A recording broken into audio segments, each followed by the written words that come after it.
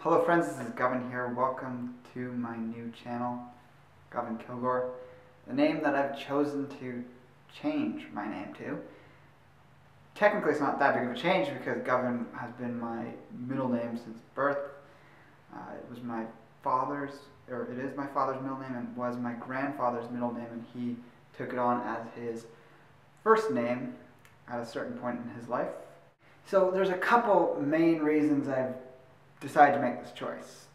Probably the biggest factor is that with the direction I'm going in really stepping up the level of my devotion to online video, uh, I want to have a name that is simple and stands out. Yes, Zak is a great name. I'm not, I don't dislike it or I didn't feel there was a negative connotation to it. Uh, but it's largely the last name that for me was an issue with the hyphen. And well, I love both my parents equally by all means.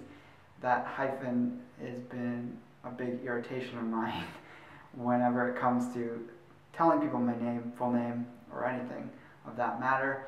And Zak Kilgour with the two hard consonants at the end of the name and then the start of the next one just, for me, didn't vibe that well. So when and if I legally change my name, I'll be probably just sticking the Zak and the Martin to the middle.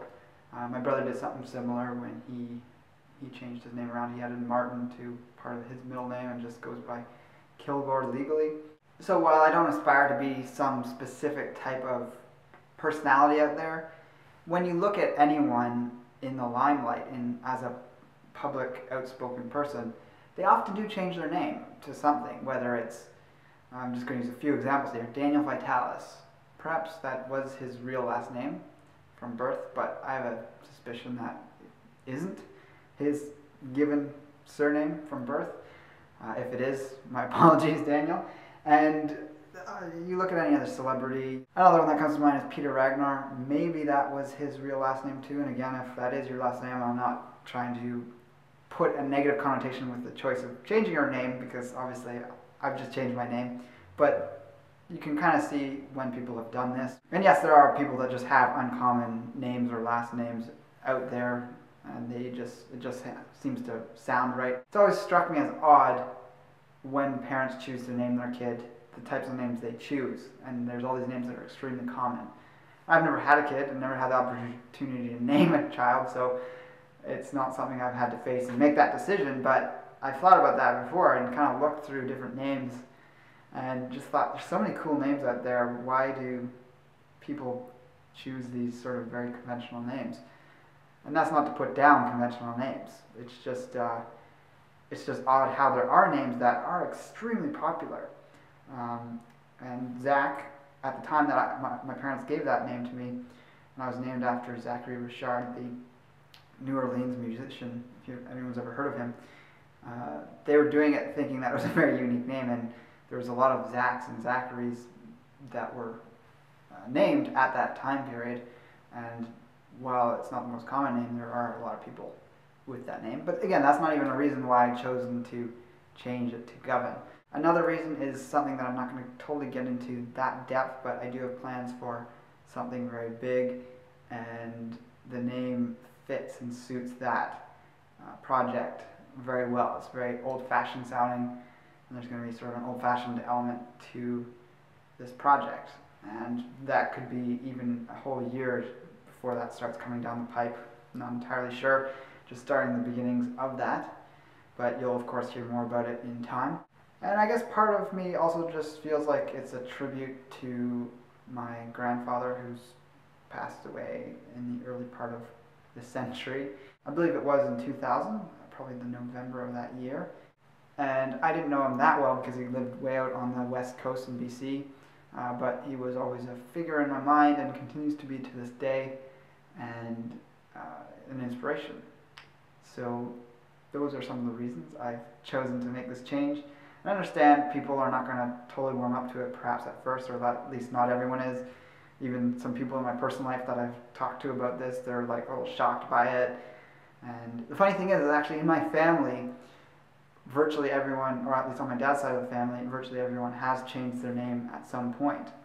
My grandfather took on the Govan, his wife changed her first name uh, to something fairly similar, but it just was something that she felt um, suited her better.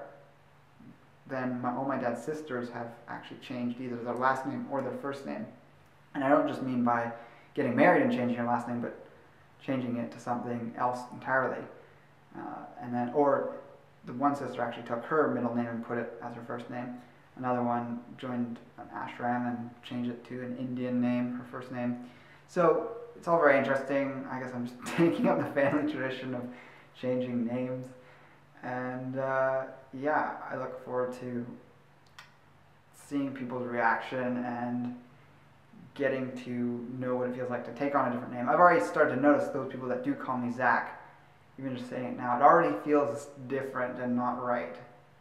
So I just literally woke up, not today, but the day before, and just had it set in my mind I'm no longer Zak.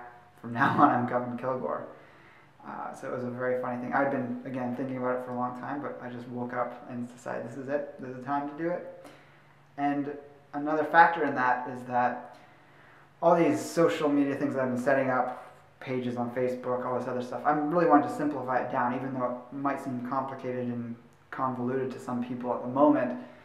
I'm just basically going to have one Facebook page, which I'll link to below, which uh, it's not a page actually, it's a profile, uh, and that is, you can see it down here, facebook.com slash Kilgour, and that's just for simplicity's sake.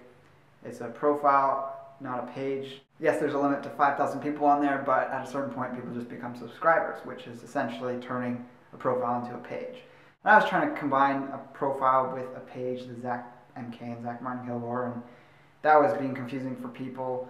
And with this, it's just a profile, the long Secrets of Longevity Facebook page, and then I'll have one other Facebook page for this project that's uh, sort of down the road that I've been talking about, which I'm not going to get into here.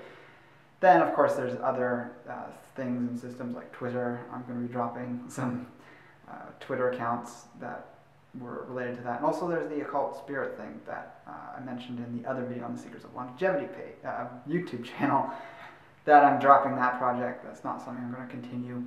Anything that's sort of within that realm that I was going to be making will just be uh, thrown into the Secrets of Longevity uh, page, or I'll just do a vlog about something if it doesn't fit into the health spectrum. Um, so hopefully that'll be something everyone's interested in. One other thing is that I am going to leave up all the videos, of course, on the Zak Martin Kilgour channel just because there's a lot of views there. There's some good content there, and it's just a tome to my history online. So with that, rate the video and let me know in the comments below just your thoughts on anything. Have you ever changed your name? What do you think of people that change their names in some point in their lives? Do you think there's uh, something bad about that? You should just keep the name you're given at birth, or is it something that you find totally acceptable? So with that, thanks for watching.